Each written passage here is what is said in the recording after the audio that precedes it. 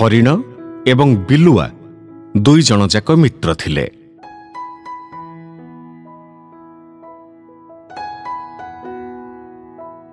ଦୁହେଁ ସାଙ୍ଗ ହେଇ ଚରାବୁଲା କରୁଥିଲେ ଆଉ ସାଙ୍ଗ ହେଇ ବି ଖେଳୁଥିଲେ।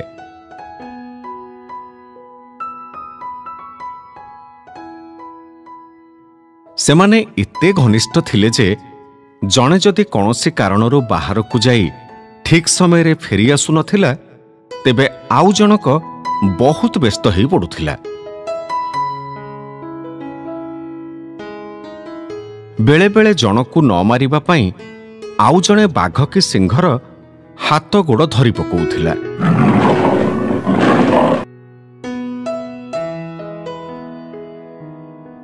ଦୁହିଁଙ୍କର ମିତ୍ରତା ଦେଖି ବଣର ଅନ୍ୟ ପଶୁମାନେ ଈର୍ଷା କରୁଥିଲେ।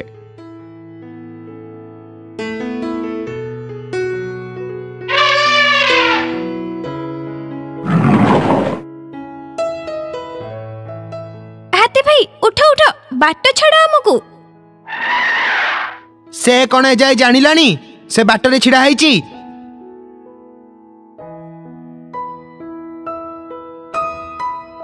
ଦେଖ ଦେଖ କେମିତି ସାଙ୍ଗ ହେଇ ଖେଳୁଛନ୍ତି। ସତରେ ଯେମିତି ମା ପେଟର ଦି ଭାଇ। ତମେ ମାନେ ଅଲା ଯୁଗ। ଲାଜ ନାହିଁ ତମ ମୁହଁକୁ। ଆରେ ଏମିତି ସାଙ୍ଗ ଆମେ ବହୁତ ଦେଖିଛୁ। ଖାଲି ଟିକେ କିଛି ଏପଟ ସେପଟ ହେଲେ ୟା ମୁହଁ ଆଡ଼କୁ ଆଉ ତା ମୁହଁ ସାଡ଼କୁ ହେଇଯିବ। ସେ ସମୟ ଖୁବ୍ ଶୀଘ୍ର ଆସୁ। ଏଇ ଦି ଜଣଙ୍କର ଯୋଡ଼ି ଭାଙ୍ଗି ଯାଉ ଜମା ବ୍ୟସ୍ତ ହଅନା। ଏମିତି ସମୟ ଜଲ୍ଦି ଆସିବ। ସେତେବେଳେ ବଣର ହର୍ତ୍ତା କର୍ତ୍ତା ଦୈବ ବିଧାତା ଥିଲା ସିଂହ ମହାରାଜ। ସେ ଥିଲା କ୍ଷଣକୋପୀ। ବଣରେ ଭାଲୁ ଏବଂ ଠେକୁଆର ଅନେକ ଦିନ ଧରି କଳି ଲାଗି ରହିଥିଲା। ଆଉ ମହାରାଜ ବିଚାର କରି ଠେକୁଆ ଦୋଷୀ ବୋଲି ଭାଲୁକୁ ଜଣେଇ ଦେଇଥିଲେ। ନ୍ୟାୟ ଅନୁସାରେ ଭାଲୁ ଘରେ ଠେକୁଆ ମାସଟେ ଯାକ ପାଣି ଯୋଗେଇବାର ଥିଲା। ହେଲେ ଠେକୁଆ ମହାରାଜାଙ୍କର ଏ ସର୍ତ୍ତରେ ରାଜି ହେଲା ନାହିଁ। ସେଥିପାଇଁ ସିଂହ ମହାରାଜ ତା ଉପରେ ରାଗି ଯାଇଥିଲେ। ଆଉ ଠେକୁଆ ଥିଲା ବହୁତ ବଦମାସ। ଏଇଟା ଅନ୍ୟାୟ ମହାରାଜ ଅବିଚାର। ଆପଣ ଏମିତି କରିପାରିବେନି। ମୁଁ ଯଦି ଭାଲୁକୁ ମାସେ ଧରି ପାଣି ଯୋଗେଇବି ତାହେଲେ ମୋ ଦେହ ଖରାପ ହେଇଯିବ। ଭାଲୁର କ୍ଷତି କରିବା ସମୟରେ ଏକଥା ଚିନ୍ତା କରିନଥିଲୁ? ମହାରାଜ ଦୟାକରି ମାସେ ସମୟକୁ ଟିକେ କମେଇ ଦିଅନ୍ତୁ। ତାକୁ ପନ୍ଦର ଦିନ କରିଦିଅନ୍ତୁ। କଣ ହେଲା? ଦୁଷ୍ଟ ଠେକୁଆ ତୁ ମୋ ନ୍ୟାୟ ଉପରେ ପ୍ରଶ୍ନ ଉଠାଉଛୁ? ଆଜି ମୁଁ ତତେ ଛାଡ଼ିବିନି। ଆଜି ମୁଁ ତତେ ଶିକାର କରିବି। ଏତିକି କଥା କହି ସିଂହ ଠେକୁଆ ଆଡ଼କୁ ମାଡ଼ି ଆସିଲା। ଆଉ ଠେକୁଆ ଜୀବନ ବିକଳରେ ଦୌଡ଼ିବାକୁ ଲାଗିଲା। ଠେକୁଆ ଦୌଡ଼ି ଦୌଡ଼ି ଯାଇ ହରିଣ ଆଉ ବିଲୁଆଙ୍କ ଗୁମ୍ଫାରେ ପଶିଗଲା।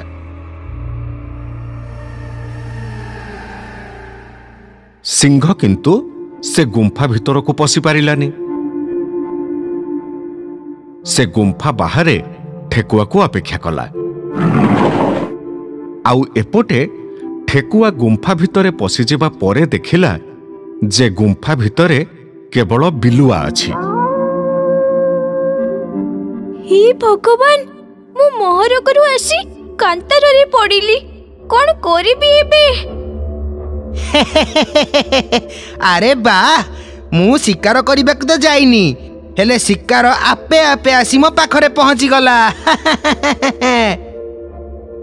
ହଠାତ୍ ଠେକୁଆ ମୁଣ୍ଡକୁ ବୁଦ୍ଧିଟିଏ ଜୁଟିଲା ସେ ଚିନ୍ତା କଲା ହରିଣ ତ ଏଠି ନାହିଁ।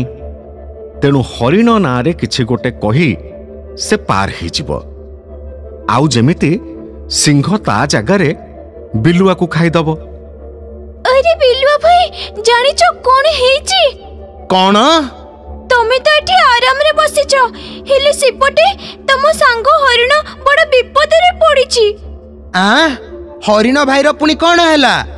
ମୁଁ ସେଇ ଖବର ନେଇ ଆସିଛି ପା। ଶୁଣ ବଣକୁ ଗୋଟେ ଶିକାରୀ ଆସିଛି। ଆଉ ସେ ହରିଣ ଭାଇକୁ ଶିକାର କରିବ ବୋଲି ସାରା ଜଙ୍ଗଲରେ ନିଆଁ ଲଗେଇ ଦେଇଛି। କଣ କହୁଛ? ମୁଁ ସତ କହୁଛି ମୁଁ ଯେମିତି ତମ ସାଙ୍ଗକୁ ଏ ଅବସ୍ଥାରେ ଦେଖିଛି ଏକା ନିଶ୍ୱାସରେ ତମ ପାଖକୁ ଦୌଡ଼ିଛି। ହେ ଭଗବାନ ହରିଣ ଭାଇର ଇଏ କଣ ହେଲା? ମତେ ଏବେ ହରିଣ ଭାଇକୁ ରକ୍ଷା କରିବାକୁ ପଡିବ। ବିଲୁଆ ଯେତେବେଳେ ଶୁଣିଲା ଯେ ତା ସାଙ୍ଗ ହରିଣ ଏତେ ବଡ଼ ଅସୁବିଧାରେ ପଡ଼ିଛି ସେ ଆଉ ଆଗ ପଛ କିଛି ବିଚାର ନ କରି ହଠାତ୍ ଗୁମ୍ଫା ବାହାରକୁ ଦୌଡ଼ିବା ଆରମ୍ଭ କଲା।